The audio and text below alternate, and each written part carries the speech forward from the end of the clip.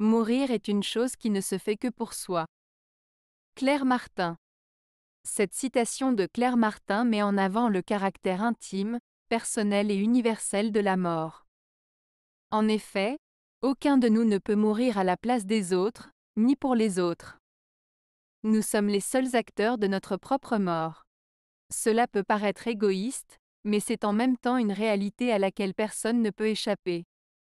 Chaque personne, quelle que soit sa position sociale, son âge, son genre, sa religion ou son statut, doit un jour affronter cette épreuve ultime. Cette citation invite donc à réfléchir sur notre propre finitude et à apprendre à vivre notre vie pleinement, en sachant que notre temps est limité.